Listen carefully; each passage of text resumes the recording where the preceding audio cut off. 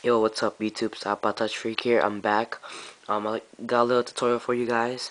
Um, this tutorial is how to change your um volume sound. Um, you know, you got your volume rockers on your iPod Touch 2G and 3G. So when you like um make it louder, hold on. When you make it louder, it doesn't make the um this sound. It doesn't make this sound. Okay, but I found this package in Cydia and this allows you to get the the volume sound like on your Mac computers with this sound.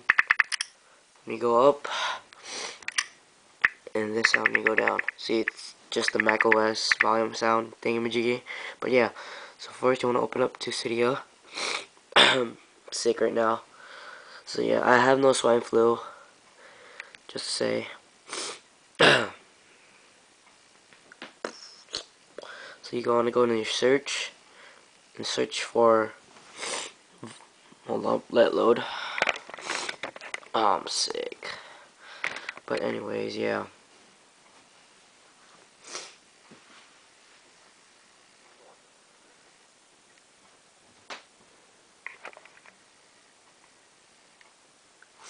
It's okay, it's load search for um volume.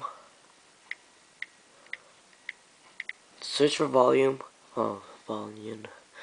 Hold up. Then search press enter.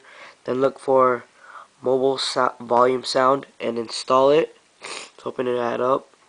Install it. Right here. And then let it respring and then there you guys have it. Now you guys have the volume mod like on the Mac OS systems with this sound when you adjust the volume up and down.